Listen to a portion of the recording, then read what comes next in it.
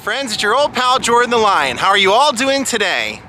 I hope you said well. We're coming to you from just outside of Philadelphia, Pennsylvania, and today we're going to be exploring some of the home and the sad ending, the grave of the great songwriter Jim Croce.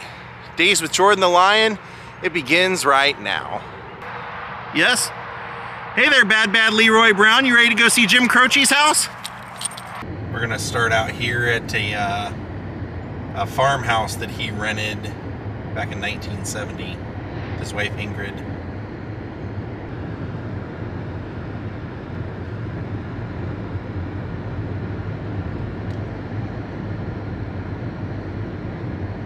There's the man.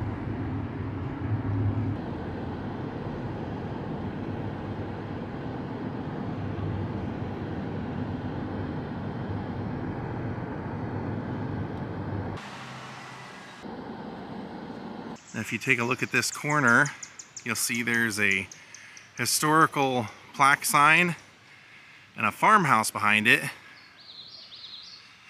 The sign says Jim Croce, Songwriters Hall of Fame inductee and singer.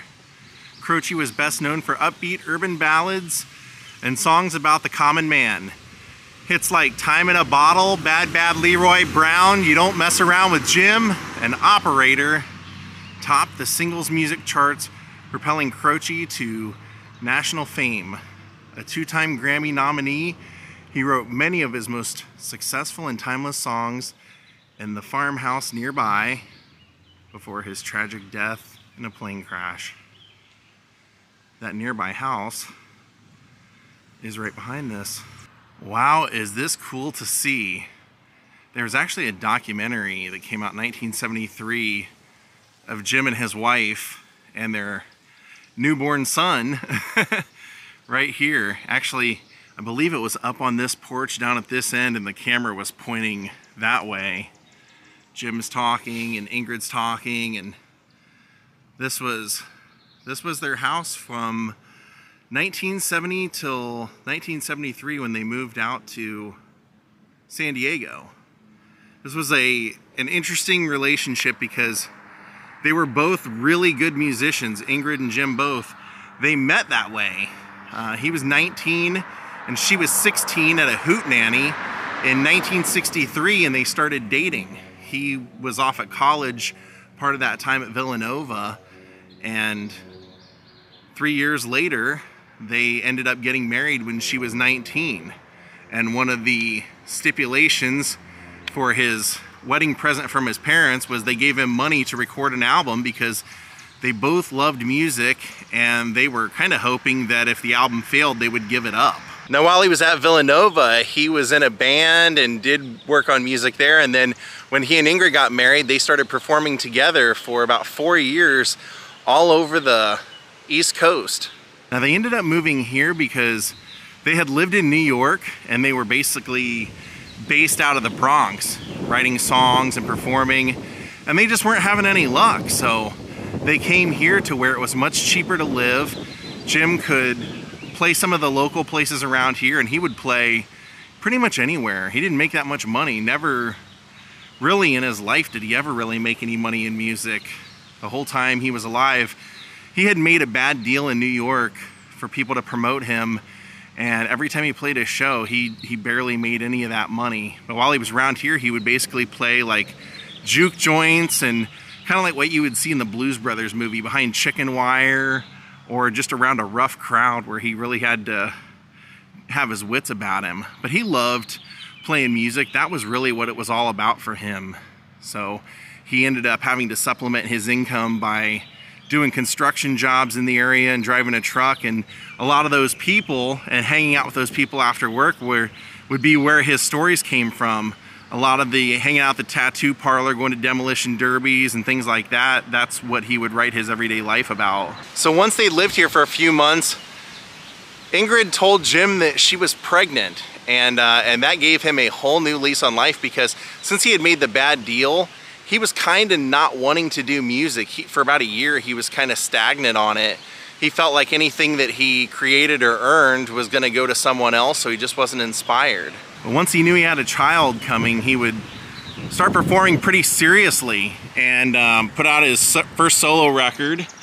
Had quite a few hits with that and started hanging out with a lot of famous people here at this house. None of those people would be superstars yet. It would be people like Jimmy Buffett, Arlo Guthrie, uh, James Taylor, Bonnie Raitt they would be regulars here and his wife would say that Jim was a real people person. Everywhere he went, he liked to make friends and it wasn't very uncommon for him uh, to not bring home some stranger. She said it was pretty often that, you know, they'd have three or four different people that had completely different jobs, completely different values, different ethics, different lots in life. And he would love to just see how they all interacted here and would often let them spend the night and stay here. Now his band was basically him and Maury, his guitar player.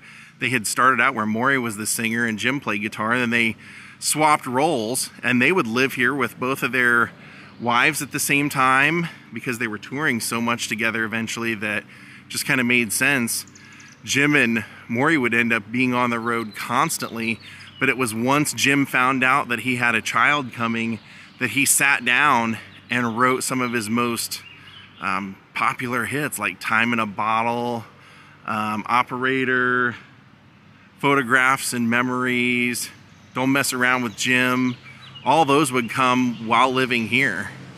And Ingrid said they loved it here. You know, she said that they entertained a lot of friends, smoked a lot of pot, had a lot of laughs, made dandelion wine here, but most of the time he would be touring for long, long stretches. Like he would do 300 shows a year. So she said once she had the baby, it was pretty much, she felt like it was just basically her and the baby here while Jim was out on the road. And she just couldn't understand. He would play show after show, be gone for so long and still be making about the same amount of money he was when he was working around here for next to nothing. Jim loved this place though. This was a real retreat for him. When he was home, he was always inspired here. Like I said, he wrote a lot of songs and one of the times that he came back, she said they had an argument, and the next morning he had slept in the basement and had spent the night writing, i have to say I Love You in a song.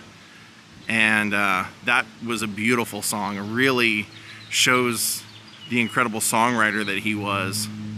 But they left here in 1973 because they just felt like they needed a change and they ended up moving to San Diego and Jim ended up deciding that he was pretty much done touring and that he was, even though they had moved in here when they were, he was 26, he was now 30 with a child and this just didn't fit the lifestyle anymore. So they moved to San Diego and he decided that he was just gonna stop the touring and try and find something else. Music just, the music business had not been kind to Jim, even though he had numerous hits in those years. Anyone up for some wine? I really love seeing this because it really shows what an everyday guy he was. You know, when you hear the songs and you just kind of wonder who was really writing those, what it was all about. You see this and you know that it was a real rural lifestyle. So like I said, they made a documentary while he was still alive and he's talking about his life and he's standing down there and the camera is kind of pointed, you know, kind of that way looking down the porch. So at the time they moved in, they didn't have the whole house. This was, they had an apartment in the house. Now I believe it's all owned by one person. But yeah, Jim would have done that interview for the documentary right up here. So great to see this is still here. Wow just about anything you ever read about Jim or documentaries, they always talk about his time here.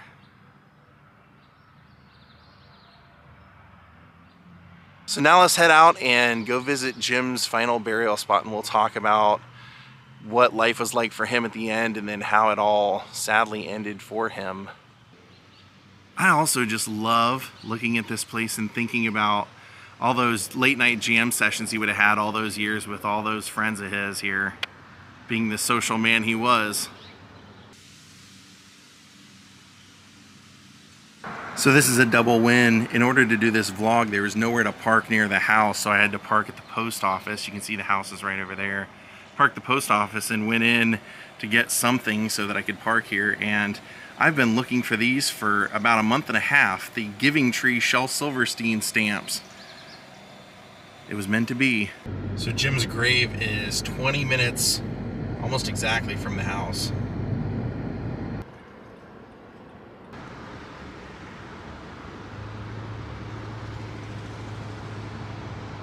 So some of Jim's most famous photographs were actually taken on that property, but I couldn't see any of them from the street and they had signs that said no trespassing, so I wanted to respect that. But that famous one from his album cover where he's basically looking out the window of the outhouse, that was on those grounds. I just couldn't get a good shot of it with my camera, I'm sorry. We found his grave out here though. So right beneath this pine tree is the final resting place of Jim Croce. I always thought that his son's name, AJ, was based off of his name, and it wasn't. I think it was. I think his name's Adrian James. Jim Croce, 30 years old, had two hits in the top 10, and right after his passing, they released Time in a Bottle, and that also became heavily played. So Jim wasn't making any of that money. Like I said, he they moved to San Diego and he had just in his exuberance to have a career in music, he had made bad deals and was just not making any of the money. So he was basically going to do one last tour and then quit touring. And one of the dates happened to be his last dates in Natchitoches, Louisiana. It was actually something that he was supposed to have played a year before for $750, but he had lost his voice. So he promised them at his earliest convenience he would come back and play that show. So by the time he came back to play this, he was actually a big star. And this was a much smaller place than he was accustomed to playing in this past year of his performing. And he honored his word, came back and gave him just a fantastic show, and then was supposed to catch a flight to Texas to play another gig, and then he was going to basically finish up the tour and go back home to San Diego and live with his family. Now, it was sad because his plane crashed leaving the Natchitoches airport, and I recently vlogged that. It was reported that at liftoff, it hit some pecan trees and crashed and basically killed everyone on board. The pilot, um, Jim, Maury, and four others. But once I posted the vlog, you know, I, I had read that what ended up happening was that the pilot had had a heart attack upon liftoff. And some of the people commented and said, yeah, he was, apparently he was sleeping and had overslept for the flight. And when he woke up, he couldn't get a ride. He was staying at a hotel like a mile away from the airport. So he was trying to run to the airport to get there as soon as possible and he was in his 50s and he was a little heavier set and everything and apparently that all contributed to the flight investigation said that he had a heart attack so that all was wrapped up in that and his wife Ingrid said that she was asleep and got a phone call from Jim's stepmother saying she was watching the Today Show and saw that there was a plane crash and his wife said, Jim's dead, isn't he? And she said, yeah, everyone had passed. 30 years old and never got to see the he got to see some of the success on the radio but he never really got to see the financial success and his wife ended up fighting to get the fair deal that he should have gotten to get the rights back to his music and what an amazing body of work to leave behind for such a short career. You know, most of what we know him for is the stuff that he did from 70 to 73, so it's a awful lot of amazing, memorable songs to cram into such a short time. And it was showing no signs of stopping. You know, who knows if he would have decided to write for other people or only record and release it like that if he wasn't going to tour, but he was like I said, at, at, the time of his passing, he had songs on the chart, so he was his career was at an ascension. And then "Time in a Bottle," which is probably his biggest hit, would come out after his death and it's an amazing song, a song that he wrote for his son when he found out that he was going to be a father. He'd never really seen himself like that. He never really saw that section of what his life could be. So he really had to start taking his life seriously and ended up finding out what was important for him. Rest in peace, Jim Croce. I wish we could have seen some of the outbuildings out there at his house because there's, like I said, there was the photo of him in between the brick wall was taken out there. His family photo was taken out there with his wife and kid when they're sitting on the chair. And then that famous one from his album cover that it looks like a church window, but it was actually an outhouse window. Rest in peace, Jim.